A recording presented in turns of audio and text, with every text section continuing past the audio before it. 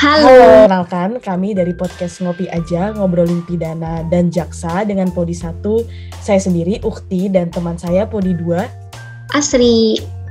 Podcast Ngopi Aja ini akan membahas mengenai jaksa dan seluk-beluk tugasnya.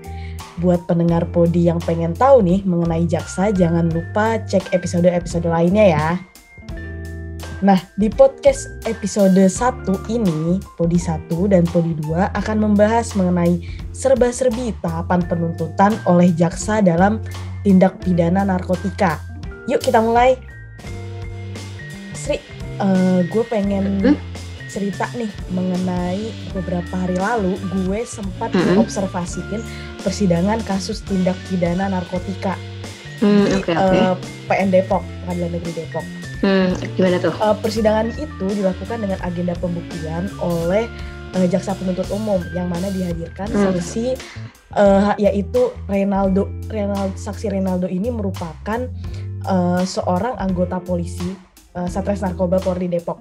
Di hmm. uh, saksi Renaldo ini uh, menangkap terdakwa di kasus tindak pidana narkotika itu yang menangkap terdakwa saat dia melakukan pengedaran narkoba di Depok di jalan tepatnya di Jalan Abdul Wahab.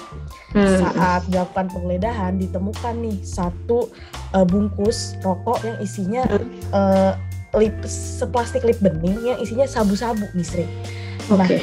berkaitan dengan kasus tindak pidana narkotika ini uh, kita pengen dijelasin nih ke pendengar podcast. Mm -hmm.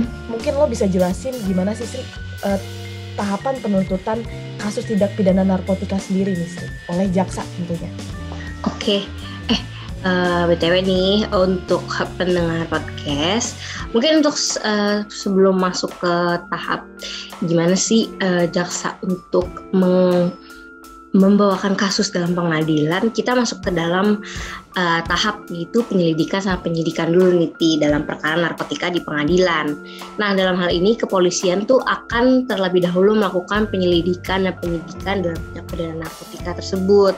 Ini tuh uh, gunanya untuk mencari tahu nih ti kira-kira siapa sih tersangkanya, terus uh, barang bukti dan alat buktinya apa saja sih.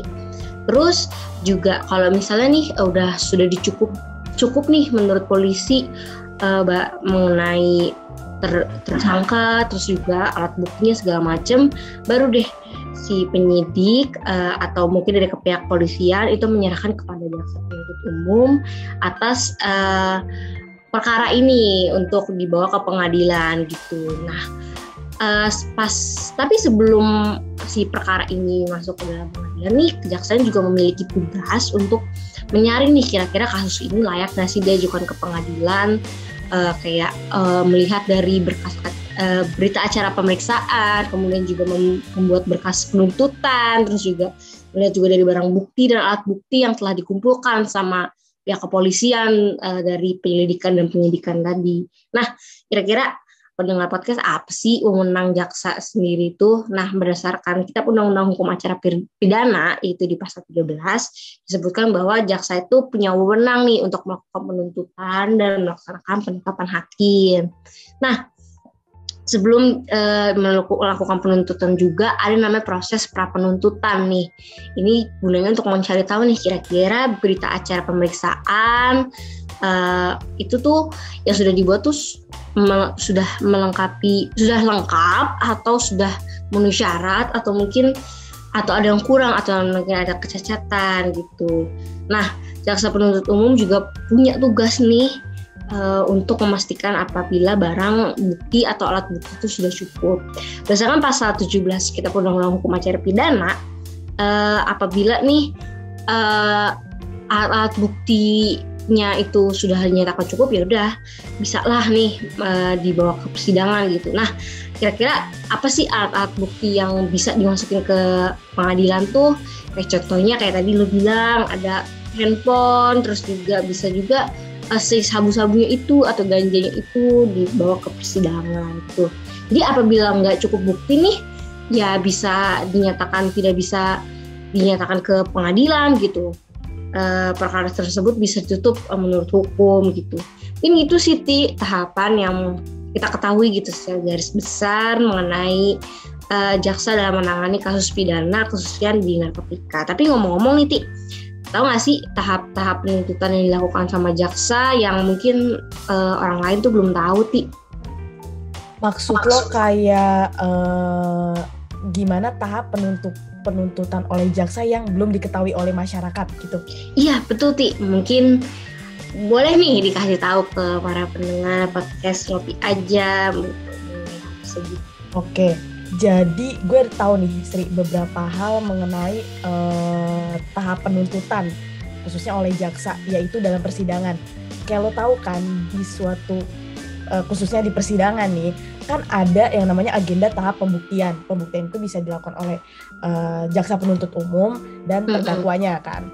Nah dari terdakwa ini uh, oh ya dengan jaksa penuntut umum dalam kasus narkotika khususnya tentu keterangan saksi-saksi yang dihadirkan uh, untuk hmm. memberi keterangan cenderung berasal dari pihak kepolisian, Sri.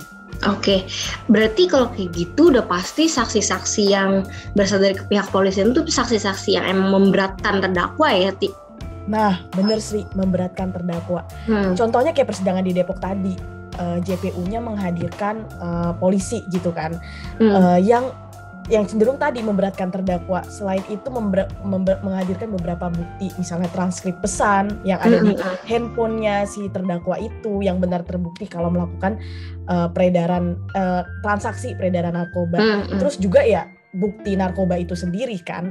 Nah tentunya hadirnya saksi saksi uh, polisi, bukti-bukti tentunya cenderung meng, cenderung memberatkan terdakwa dan terdakwa sendiri nih cenderung hmm. tidak dapat menghadirkan saksi yang bisa meringankannya kan karena benar-benar hmm. tanggapannya ditangkap basah gitu oleh hmm. polisi gitu. Kira-kira ada lagi nggak sih Niti yang bisa mungkin diceritain ke para pendengar? Nah, mengenai contohnya mengenai tahap pasca penuntutan ya Sri ya. Hmm. Kayak lo tahu setelah penuntutan persidangan nih tentunya ada kejatuhan hukuman dong. Kejatuhan hmm. hukuman ini salah satunya itu adalah terhadap barang bukti tadi narkoba hmm. bukti narkoba okay, okay. ini dijadiin sitaan kan barang sitaan uh, jadi kita uh. lagi ngomong ini pemusnahan barang sitaan nah okay. lo tahu sendiri gak sih hmm. bagaimana uh, pemusnahan barang bukti ini gitu Sri. Oke okay, oke, okay. bentar-bentar gue potong.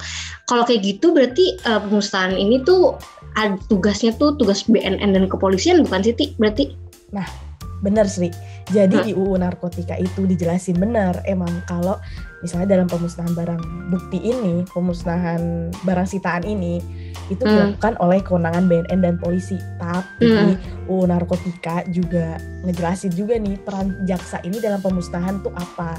Nah, UU narkotika ini sih ngejelasin kalau uh, pihak kejaksaan berwenang sebagai mengeluarkan surat penetapan pemusnahan dan hmm. menentukan berita acara pemusnahan itu harus diberitahukan kepada Kejaksaan Negeri uh, Republik Indonesia setempat.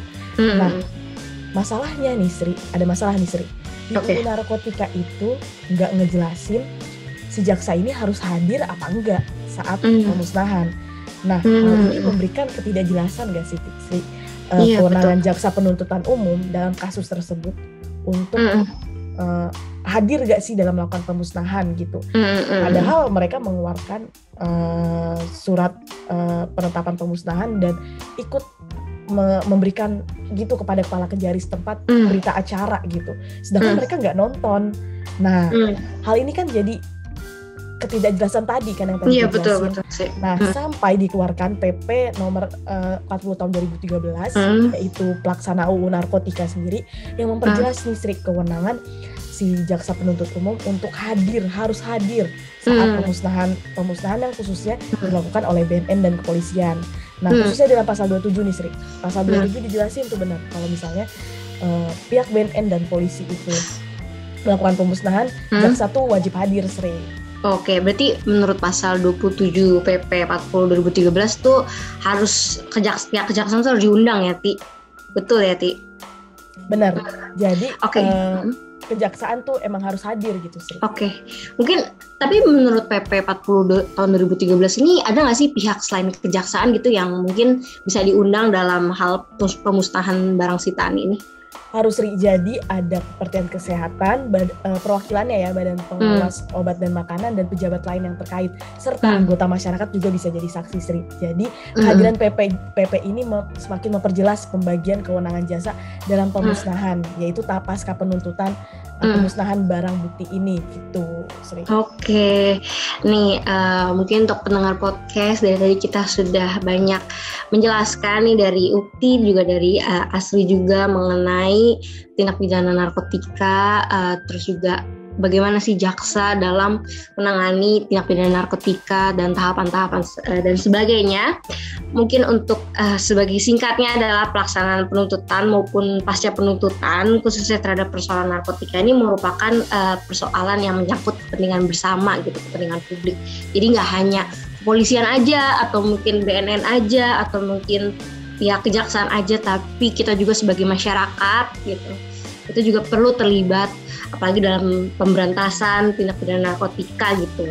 Penggunaan uh, narkotika yang uh, penyalahgunaan gitu. Dan tentunya juga dalam hal ini harus ditegakkan mengenai kepentingan terdakwa dan hukuman yang harus dikenakan.